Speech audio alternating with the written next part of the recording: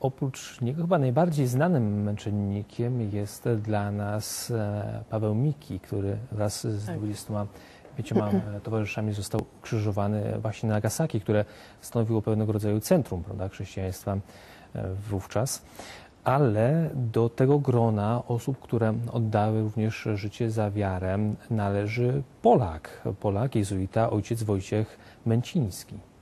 Tak, właśnie to jest e, no, e, taki, to był pierwszy Polak w Japonii. To jest taki polski akcent w tych e, tragicznych prześladowaniach Kościoła japońskiego, ponieważ ojciec Męciński wyjechał do Japonii na własną prośbę. Znaczy, może przypomnę tak pokrótce jego, jego biografię. No, jest mi osobą o tyle bliską, że urodził się na Lubelszczyźnie w rodzinie szlacheckiej, herbu Poraj w Osmolicach. 1601 roku i czytał, e, w Lublinie chodził do szkoły jezuickiej i czytał, e, czytał tam raporty ojców jezuitów z Japonii. I bardzo go to zafascynowało. Postanowił, że wyjedzie kiedyś, chciałby kiedyś zostać jezuitą i wyjechać do Japonii. E, to nie spotkało się z przychylnością jego mamy, która wysłała go na studia medyczne do Akademii Krakowskiej ale on ucząc się już nie wiem dokładnie, czy skończył y, medy studia medyczne, czy też nie, w każdym razie wstąpił do Towarzystwa Jezusowego i wiedząc, że w Japonii y, są, trwają y, okrutne prześladowania, postanowił wyjechać do Japonii, szczególnie po tym, kiedy w 1635 roku dotarła do Europy wiadomość, że w wyniku prześladowań, y, które, y, w, w których ginęły y, setki, tysiące chrześcijan wszystkich klas, wszystkich grup społecznych, nagle wyrzekł się wiary pod wpływem tortur ojciec Cristóvão Ferreira, który był pełnił wówczas funkcję wiceprowincjała ojców jezuitów, więc był to to była to ogromna potwarz, to był skandal dla, dla Kościoła, który e, do tego momentu wszyscy ponosili e, śmierć za wiarę i, i nagle właśnie nagle odejście od wiary, więc zgłosiło się wielu młodych jezuitów, którzy chcieli pojechać do Japonii i pomimo tych prześladowań służyć wiernym, żyjącym w głębokiej konspiracji i oddać nawet życie jako zadośćuczynienie za to odejście od wiary. E, I w pierwszej grupie tych, e, znaczy początkowo ci jezuici nie, nie, nie otrzymali zgody e, swoich przełożonych, którzy uznali, że, że ta wyprawa, ta misja skazana od razu na, na niepowodzenie i na, na, na tortury, na, na, na męczeństwo jest zbyt jednak kosztowna. E, ale nalegali na to, że jednak chcą pojechać i zostały stworzone takie dwie grupy, które, y, w skład której w, pierwszej, w skład tej pierwszej grupy wszedł właśnie ojciec Wojciech Męciński, wyjechał do Japonii pod przebraniem, e, bo nie wolno było, to był już okres od 1639 roku. W Japonii e, coraz bardziej wprowadzano przepisy prowadzące do całkowitej y, izolacji kraju, czyli nie wolno było wjeżdżać do Japonii pod karą śmierci i nie wolno było z Japonii wyjeżdżać również pod karą śmierci, czyli już sam przyjazd do Japonii był y, karany śmiercią. Oni, y, ojciec Męciński z innymi czterema kapłanami, jezuitami przedostali się do Japonii w przebraniu chińskich kupców, ale zostali natychmiast schwytani. To był też sierpień, e, chyba 11 sierpnia 1642 roku. Zostali schwytani, poddani e, przesłuchaniom i torturom przez około 200 dni. I w końcu w marcu 1643 roku wszyscy do, dokonano ich egzekucji, które były wynikiem ok kilkudniowych, okrutnych tortur. I tam i, te, i zakończyli życie wszyscy w tym samym miejscu, gdzie wcześniej, w 1597 roku, zostali ukrzyżowani e, pierwsi chrześcijanie. Także to, to, to, samo, to samo miejsce. E, ich ciała zostały porąbane, spalone i wrzucone do morza. Temat adaptacji chrześcijan na terenie Japonii. podejmuje w swojej twórczości jeden z najwybitniejszych pisarzy japońskich, e, Susiaku Endo. I jeden, jedna z jego powieści, Milczenie, e, doczekała się ekranizacji w reżyserii pana Martina Scorsese. Obecnie w kinach możemy obejrzeć ten film. Na ile on oddaje mm, ten czas, ten klimat, na ile oddaje też prawdę historyczną? Czy ja myślę, że mm, to jest, to jest film zrobiony przez Hollywood i myślę, że e, trzeba o tym pamiętać. E, I myślę, że na film zrobiony przez Hollywood, no to on e, mówi o jak najwięcej o, o prześladowaniach w Japonii. Myślę, że dobrą stroną tego filmu jest, że on w ogóle podejmuje temat męczeństwa kościoła japońskiego, ponieważ w Japonii było około 20, a niektórzy nawet mówią o 30 tysiąc, tysiącach męczenników, którzy, e, którzy ponieśli e, mm, śmierć za wiarę, a to jest taki, ponieważ Kościół jest tam bardzo mały, to, to jest taki e, epizod mało znany, myślę, w, nie, ty, nie, tylko w, za granicą, ale też w samej Japonii. Ja na przykład rozmawiałam z katolikami w, Japonii, którzy obejrzeli film Milczenie i oni byli zaskoczeni, E, właśnie ogromem i okrutnością tych, e, tych prześladowań. E, także jakoś tak nie mieli świadomości, że to, że, że to były tak, tak okrutne prześladowania.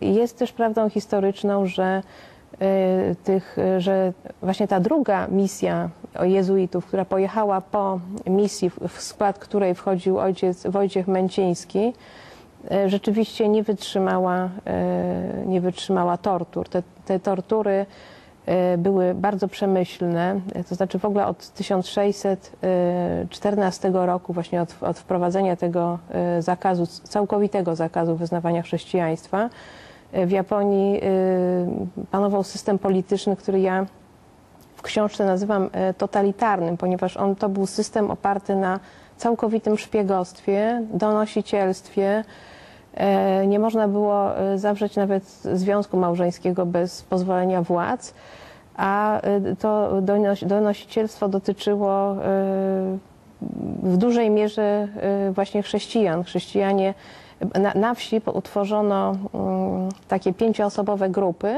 które, które miały siebie, której członkowie mieli siebie nawzajem obserwować i donosić na jakiekolwiek przewinienia. Jeżeli ktoś e, z tej piątki dokonał jakiegoś przewinienia, a największym z nich było wyznawanie e, chrześcijaństwa, e, to karę, taką samą karę ponosili wszyscy, wszyscy, wszyscy członkowie grupy. Wyznaczono nagrody za denuncjację chrześcijanina, brata zakonnego i księdza. To, były, to jest w filmie pokazane.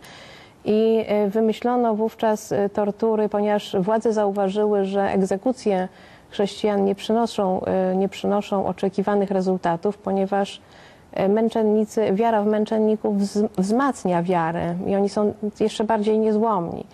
Więc postanowiono zmienić taktykę i wprowadzić tortury, które będą bardzo dotkliwe i długotrwałe, tak aby doprowadzić do upadku księży, przede wszystkim e, kapłanów wszystkich, którzy posługiwali tej grupie ukrywających się chrześcijan. I właśnie w 1633 roku ojciec Cristobal e, Ferreira, tak jak mówiłam, nie, nie, nie wytrzymał tortur. To jest, to jest właśnie jeden z tematów e, milczenia.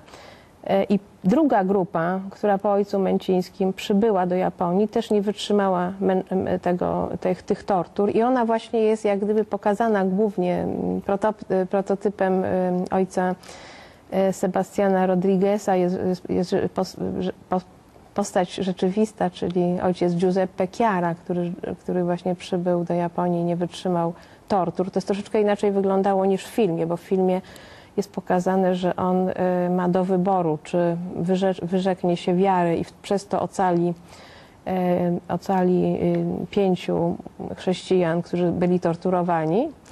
Natomiast w rzeczywistości on sam został poddany tej torturze i tej tortury nie wytrzymał.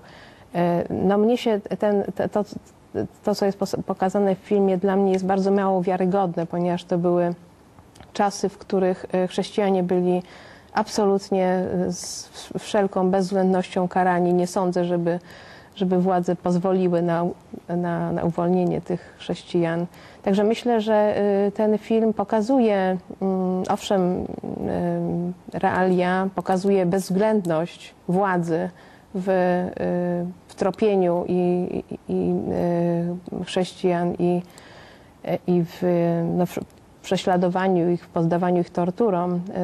Zresztą pokazuje też praktykę fumije, to znaczy deptania obrazu przedstawiającego Pietę lub ukrzyżowanego Chrystusa. E, to była praktyka wprowadzona w 1629 roku, która służyła właśnie, no była taką próbą dla osób podejrzanych o wyznawanie chrześcijaństwa i ona była, ci, którzy byli podejrzewani o wyznawanie chrześcijaństwa, byli poddawani co roku. Więc musieli jakby potwierdzać, że nie są, nie są chrześcijanami. Także to jest też, też autentyczny, autentyczna praktyka. E, natomiast dla mnie w tym filmie odwrócone są jakby proporcje, ponieważ jest, e, jest ojciec jezuita, ojciec e, Franciszek Garupek, który ginie ze swoimi wiernymi, z chrześcijanami japońskimi. Natomiast głównym bohaterem filmu jest, jest jego kompan, który właśnie nie wytrzymuje tortur a to y, jest odwrócenie proporcji, bo mamy ponad 20 tysięcy męczenników i zaledwie kilku misjonarzy, którzy nie wytrzymali, nie wytrzymali tortur. Natomiast y, pięknie jest według mnie ukazana niezłomność chrześcijan japońskich w, w tym filmie, także, także no to są takie rzeczy, które, y, które są dobrze pokazane w tym filmie według mnie.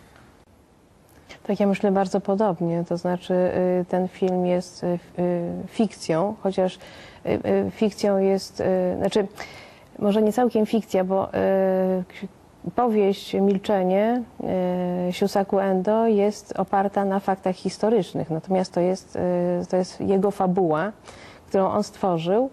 Ja czytałam, że on pisał tą książkę, kiedy borykał się sam z chorobą y, i jak gdyby zajmował, zajmowała go y, sprawa słabości właśnie ludzkiej.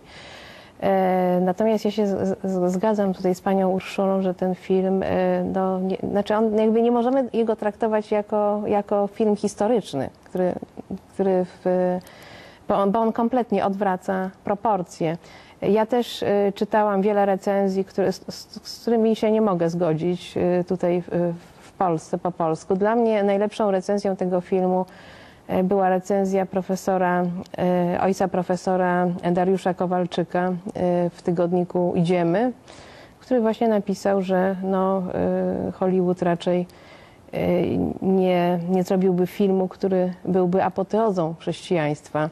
A dla mnie bohaterem tego filmu jest przede wszystkim e, ojciec Franciszek e, Garupek, który oddaje życie ze swoimi wiernymi, z japońskimi wiernymi, którzy są, są ofiarami prześladowań. I, ten, jego postać jest tam potraktowana trzecioplanowo zupełnie. To jest taki tylko epizodzik, który, który tam y, się tak pojawia i właściwie jest niezauważalny. Znaczy taki po prostu jest tylko krótko, krótko, krótko pokazany. Poza tym mm, niepokoi mnie to, że w tym filmie, mm, ponieważ są piękne obrazy, jest, jest, jest piękna, piękny, pięknie wizualnie jest zrobiony, y, nagle tracimy, stajemy się obojętni na fakt, że ci dwaj kapłani, którzy nie, nie wytrzymali tortur y, współpracują z systemem, z władzami i sprawdzają y, to, co, to, co przywożą y, cudzoziemcy do Japonii, którzy jeszcze tam mogli widać w jakichś szczątkowych ilościach do Japonii przybywać i oni po prostu oceniają, czy to jest związane z chrześcijaństwem, czy nie i w momencie, kiedy y, widzą przedmiot chrześcijański, mówią, że to jest związane z chrześcijaństwem, no osoba, która go przywiozła, jest za nimi y, zabierana na tortury.